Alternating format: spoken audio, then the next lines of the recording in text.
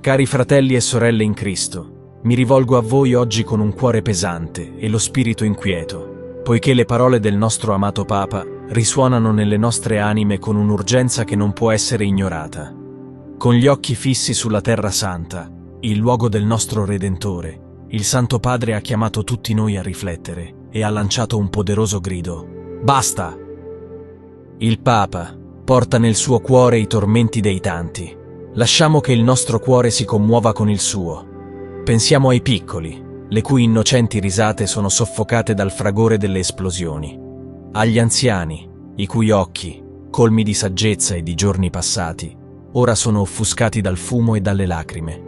È un grido di giustizia che emerge dalle profondità dell'anima, un appello che riecheggia nei secoli.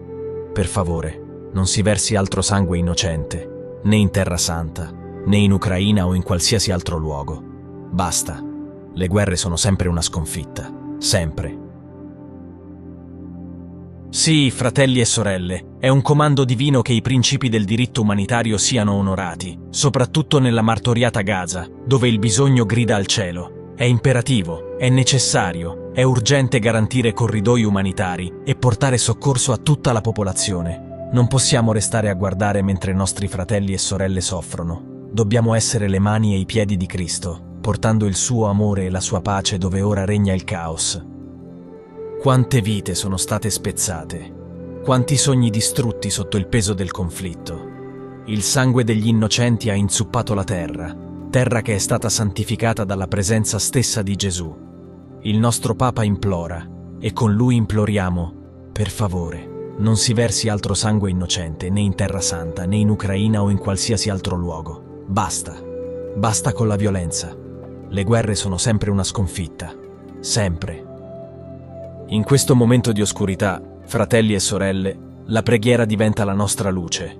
È la forza mite e santa un baluardo contro la forza diabolica dell'odio, del terrorismo e della guerra. Ogni credente è chiamato ad unirsi in solidarietà con la Chiesa in Terra Santa, alla preghiera e al digiuno. Piegare le nostre ginocchia in preghiera e umiliare i nostri corpi con il digiuno invierà un messaggio potente al cielo e sarà un segno di speranza sulla terra. E ora alziamo i nostri cuori e le nostre mani verso la Madonna, rifugio dei peccatori e madre di tutti i popoli. Maria, stella del mattino, intercedi per noi. Prega per la pace in Terra Santa, prega per la fine delle guerre e delle sofferenze. Porta i nostri desideri di pace al tuo Figlio, affinché possiamo vedere il giorno in cui trasformeranno le loro spade in vomeri e le loro lance in falci. Una nazione non alzerà più la spada contro un'altra nazione, né si addestreranno più per la guerra Amen.